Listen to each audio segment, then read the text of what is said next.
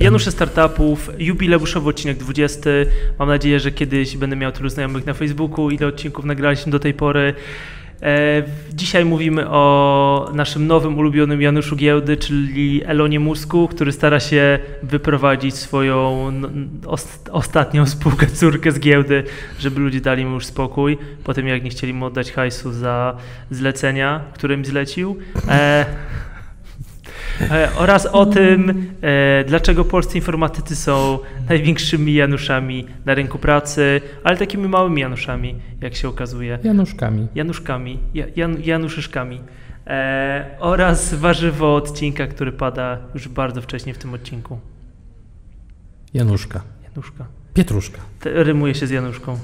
Janusze startupów. Zaczynamy.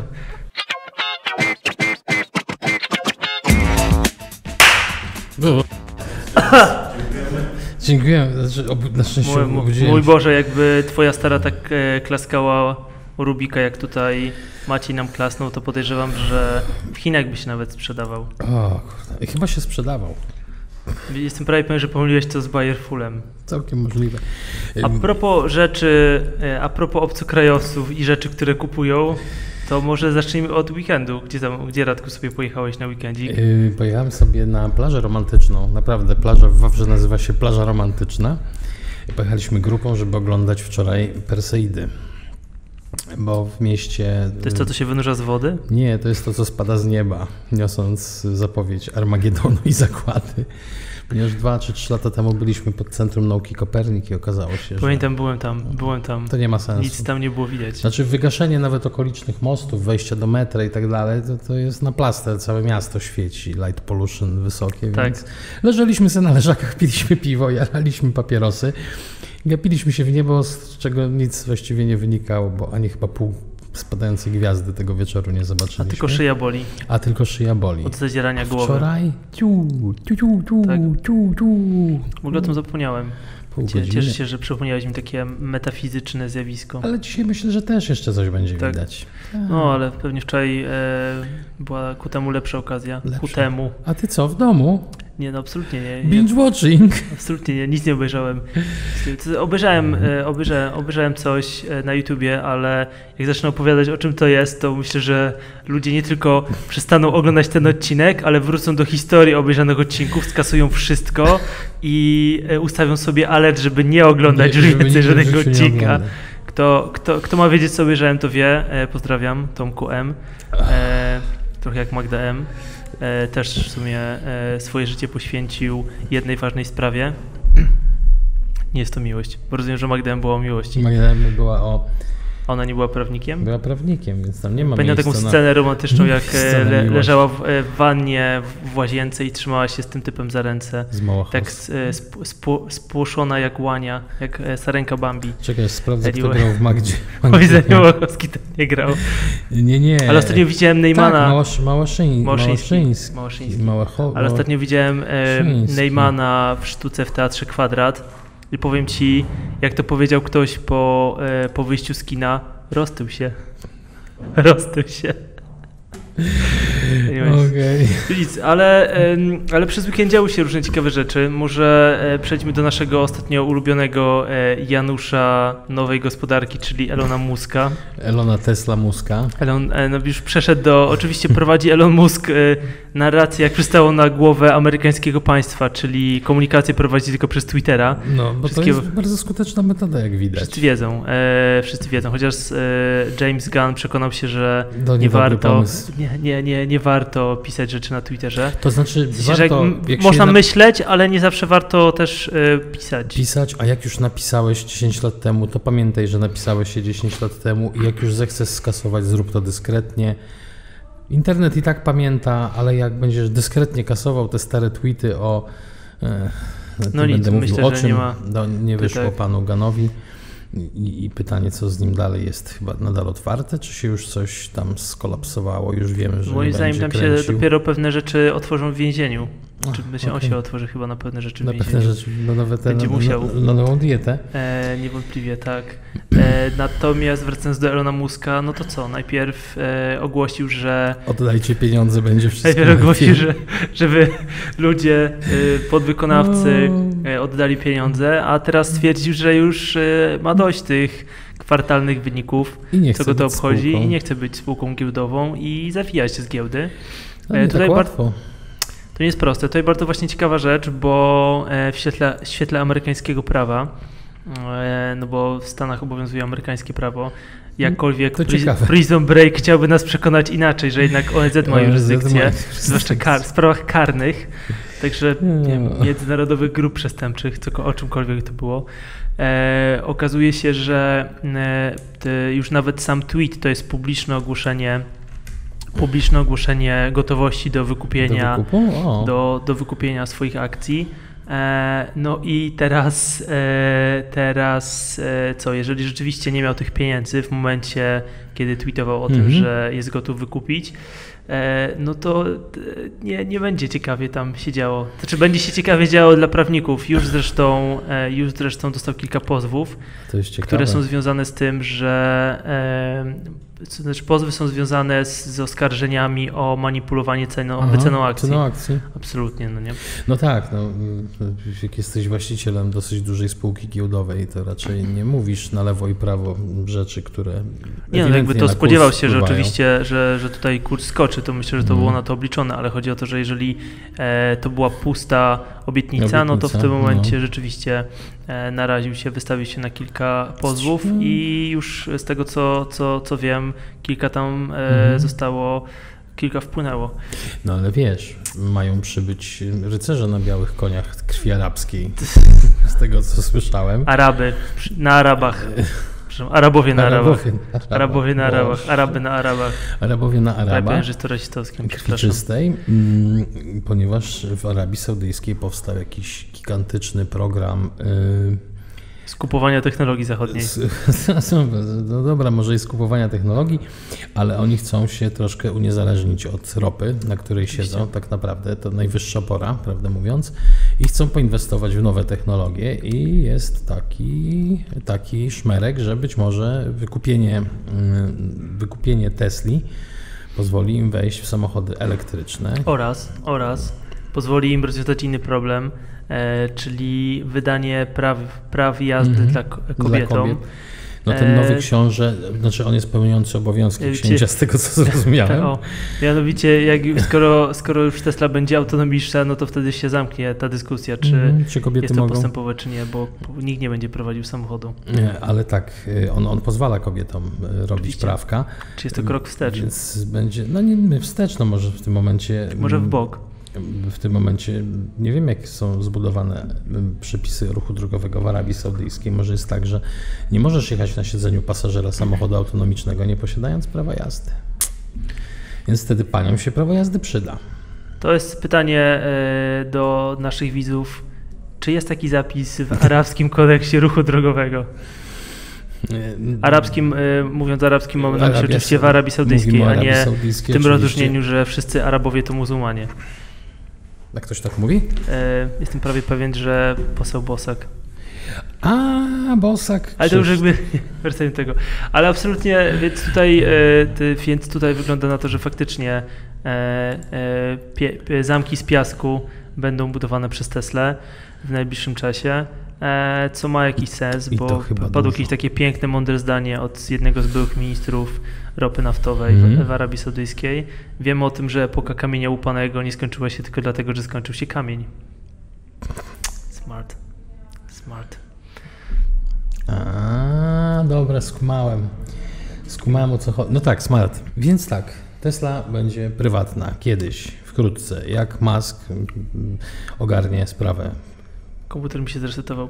Tak ogarnie jest. sprawę E, pozwów, spraw sądowych, oskarżeń Komisji Czyli Giełdy nigdy, o manipulowanie. Jest takie, jest takie podejrzenie odnośnie do e, Elona Muska.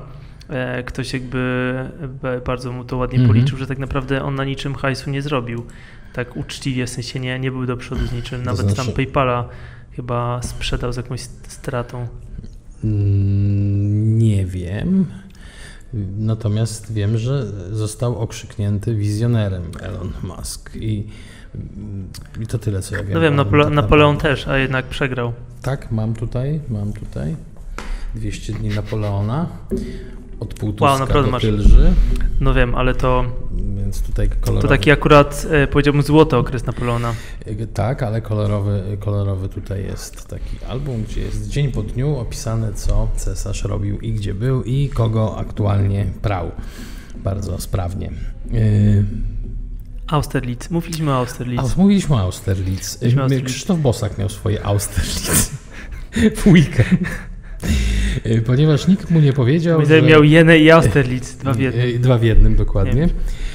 Jestem przekonany, że mieliśmy o tym, ustalaliśmy, że mieliśmy o tym nie rozmawiać, Nie ale już będziemy, powiedz. nie będziemy o tym rozmawiać, natomiast tak chciałem tylko nawiązać. Tak. że pojechał do Biłgoraja, ja znam ten rejon, y, Kojarzę. on się tam zachwycił, że są sami Polacy i może to dobrze, bo, bo on jak chodzi po Warszawie, to czuje się uciśniony i opresjonowany, Nie dziwię się, bo mieszka obok Vegan Ramen Shopu.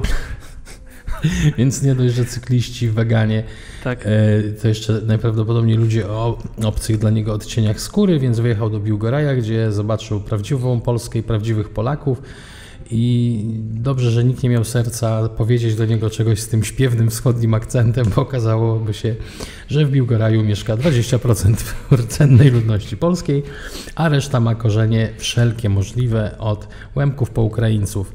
Ni- Nikt na szczęście nie zniszczył marzeń i erotyki sennej posła Bosaka, a E, mówię o tym dlatego... Ja rozumiem, że poseł, poseł, były poseł, on jest teraz posłem? Nie, Chyba tak go tytułuje. Tak, tak jak się, Tak, e, wiadomo, wiesz, prezesów tytułuje tak, do, prezes, dożywotnio. prezydent. Może lepiej, że jest dożywotnio posłem, niż jest nim naprawdę. Te, te, E, tutaj niewątpliwie się tak Myślę, że on raczej żyje w, e, z, Polską w takich granicach jak e, Gierek. Znowu, czyli- znowu krypciocha. Czyli że, czyli, że Norman Davis, dobrze, to może tutaj wyjaśnię. O jest. E, Norman Davis bardzo, bardzo ładnie pokazał, jak e, mapy polskich ziem po 40, jak inaczej, Polsk, wszystkie podręczniki historii po 45 były rysowane tak, że mapy wszystkich podręczników Mhm. były rysowane tak, że ziemie polskie zawsze były w obecnym kształcie, czyli kształcie po 45, No, po ustaleniach e, z Jałty. no. E, No i e, tutaj jakby gdzieś tam jakiś Lwów, e, gdzieś tam jakiś, jakieś Wilno, przecież gdzie to były ziemie No polskie. myśmy no. się zrzekli, podziękowaliśmy. Oczywiście nie. Stwierdziliśmy, że nie A roślimy. co nie chcieli, a, czego nie chcieliśmy oddać sami, to Lord Curson w naszym Tak, imieniu scedował. W naszym imieniu przekazał so, sojusznikom. A dlaczego ja w ogóle wspomniałem o Biłgoraju i o pośle. Bosaku? Ja już mówię. Powiat Suski, taki f- fąpaż na Facebooku, wrzucił mm, prośbę od czytelnika. I bardzo mnie to rozbawiło, bo jest to świetny pomysł. To znaczy, y, kupujesz furgon, ładujesz go ziemniakami, cebulą, marchewką i czym tam jeszcze sobie robisz handełę, po czym wyjeżdżasz na wieś. To ciekawe, że ludzie na wsi kupują ziemniaki, ale być może już się nie opłaca uprawiać i odpalasz melodyjkę na dachu z A, Family o Frost. tak, tak. I takie to, nie, nie, nie jestem w stanie tego zanucić. Tak. I, wtedy wszystkie dzieci biegną i krzyczą przyjechały lody, przyjechały lody, przyjechały lody. A tu pan Zenek z ziemniorami. No to jak już dziecko przybiegło po te lody Wykupić z te, tego mrożonego ziemniaka, no bo jak? To może stwierdzi, że skoro nie ma lodów i się zapłacze, to może powie mamie, żeby kupiła ziemniaka, pyrkę, to zrobi chociaż frytki. Świetny patent na, nagania, na naganianie klientów, to znaczy ja jestem pełen, absolutnie pełen podziwu dla, dla biznesmenów, którzy prawdopodobnie ku- kupili furgon po Family Frostie tak. i Bo nie teraz- zmieniali, bo stwierdzili, że to będzie dobra No teraz to beka. już zamrażalki w każdym sklepie e, wiejskim. E, Nie tak jak za, za naszych czasów, że pan, pan dowoził Błagam. E, Fiatem kombi i lody się trzy razy zdążyły rozmrozić, rozmrozić, zamrozić i rodzice, jed- jedna rzecz, o którą mnie błagali, to żebym nie kupował tych lodów, bo będę umierał na salmonellę. No one nie, nie były być może najświeższe i nie były mm, pierwszy raz mrożone, no bo Nie były pie pierwszej mrożoności. pierwszej mrożoności. No mówmy się, chłodnie te budy paki, które jeździły po Polsce, no to trzeba było oszczędzać paliwo, bo było reglamentowane. Więc podejrzewam, że tam było tak tylko Ja trochę... myślę, że ja, ja myślę, że powód był e, inny jednak, że Pa- za dowóz e, z tą, tą furą, która chłodzi, trzeba było dodatkowo zapłacić. Też możliwe. No to przecież sobie przewiezie z jednego miasta powiatowego do niepowiatowego. I tu, tu już nie będę rzucał mm, ty- tymi oskarżeniami, ale słyszałem, słyszałem o historiach spuszczania paliwa i tłumaczenia, że idzie więcej, bo chłodnie działa. Także, no w każdym razie panowie, panowie z, z odpalają melodyjkę Family Frost i biegną całe tłumy, że może będą lody, a jak już nie ma lodów, to kupmy coś innego. Po pierwszej fazie poirytowania, no już przychodzi taka pogodna rezygnacja na zasadzie, dobra, daj pan tych ziemniaków. Więc uważam, że to jest bardzo fajny Tak, bo ja myślę, że znaczy oczywiście nie jestem, nie jestem rodzicem, e, jestem tylko synem, jestem tylko dzieckiem moich rodziców, ale domyślam się, że tak to, tak to działa, jak się z małym dzieckiem, Tak. że chodzi o czynność zakupową, nie żeby dostać tę konkretną rzecz, tylko żeby dokonać jakiegoś zakupu. Nie ma lodów, to może owocka kupić. Cokolwiek, no ziemniaki, jak już Dokładnie, ostatecznie też ziemniaki, marcheweczka też będzie ok. Wszystko się nada. Najgorzej z pietruszką. Y, Dlaczego? Jest bardzo smaczna. No jak ją upieczysz, to tak. A, ty mówisz o tych białych. Białe podrożały. A, no, białe podrożały. Białe są bardzo drogie. Y, Białe wygniły w glebie. A- Możemy już teraz zrobić warzywo odcinka pietruszka, które kosztuje w tej chwili za kilogram białego u mnie na bazarku 20-25 zł. Mm. A propos rzeczy, e, a propos rzeczy, które są drogie Bardzo i drogie. białe, to Informatycy. polscy informatycy. Świetny dowcip. Wiedziałem. E, więc możemy zacząć od, y, od konkluzji, że potrzebujemy przynajmniej miliona informatyków z Skądkolwiek. skądkolwiek. Skądkolwiek. Skądkolwiek, ponieważ ci, którzy Nie są. wiem, co na to poseł Bosak, ale potrzebujemy informatyków, żeby wyrównać szanse między pracodawcą a pracownikiem. Ja myślę, Pie, po, po, pierwszy raz w historii rynku pracy w Polsce. pierwszy raz w historii rynku pracy w Polsce I mamy E, na to dowody. pracownicy Nie mają my, nie my mamy na to dowody, ale portal Rek- Mam Startup i rekruterzy, z którymi odbyli rozmowy i którzy przekazali im kilka informacji dotyczących czego? e, jakby to powiedzieć, Tak, żeby nie oczekiwań. nikogo. Oczekiwań. Nietypowych oczekiwań. Oczekiwań. No, czy ja nie wiem, czy one są nietypowe. Może dla kogoś są bardzo oczywiste. Wiesz, no, ja miałem znajomą, która spała w biurze i sam się parę razy, jak jeszcze mieszkałem w Piasecznie, zastanawiałem, czy nie przydaby mi się karimata pod biurkiem. Ale w normalnych warunkach pracy oczekiwanie, że będę sobie mógł rozłożyć w ciągu dnia karimatę pod biurkiem i się zdrzemnąć, bo mam dziecko i nie mogę się wyspać, to może nie jest ono bardzo mm, dro, dro, nie będzie dużo kosztować pracodawcę, ale jest lekkim, ekscentrycznym mm, jednak mimo wszystko pomysłem. E, Podobnie jak i prośba, żeby prac, móc pracować tylko w nocy.